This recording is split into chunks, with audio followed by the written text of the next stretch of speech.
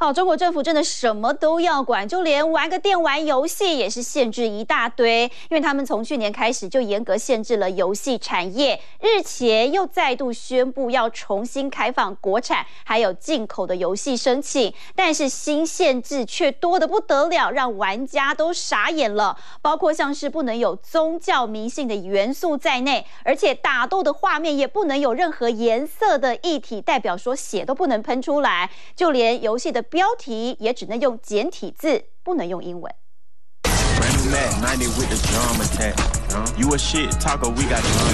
游戏战斗画面异常火爆，类似的场景以后在中国恐怕看不到了。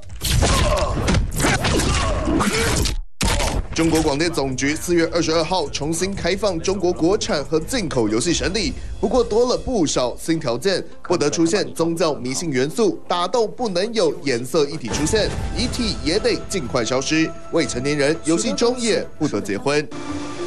你知道除了敬神拜佛？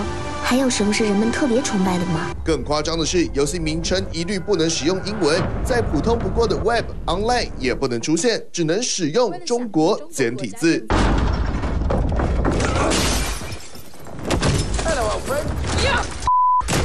不过还是有些规定看似跟上玩家呼吁的声浪，例如转蛋或抽卡游戏必须明定抽几次才能中奖。中国游戏龙头腾讯更是早在去年九月就推出未成年人家长监护政策，现在更进一步扩大，玩家得满十六岁才能直接登录新游戏。Dark forces are moving to take control of our nation, and we are the only hope to stop it.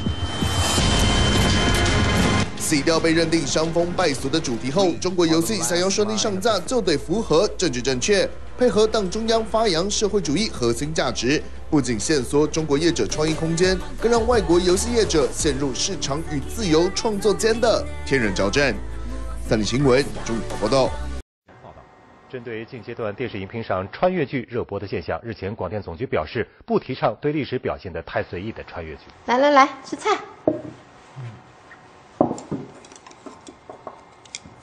少加点啊，一口一口慢慢嚼。为什么？一呢，你可以品尝一下我的手艺；那二呢，慢慢吃呢，有助于消化。当然啦，顺便呢你可以帮我查一下，里头我掉了一根针。啊？好了，开玩笑逗你了。你在看什么呢？哎。这广电总局说啊，以后不许拍历史穿越剧了，连四大名著都不能拍了。哎，凭什么？说是啊，不尊重历史。哎，就是怕借古喻今呗。那四大名著怎么借古喻今？我最爱看《红楼梦》了。《红楼梦》，曹雪芹借《红楼梦》批评朝廷、影射领导。那《西游记》呢？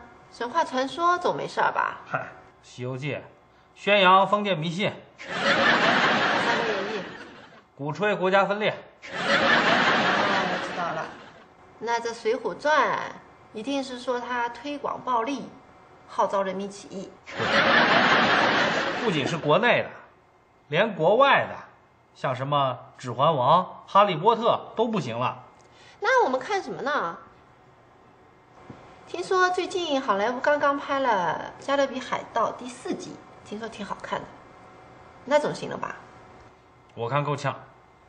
哎，不过要是编剧啊在《黑珍珠号》上面加上一个政委，还有可能通过广电总局的审查。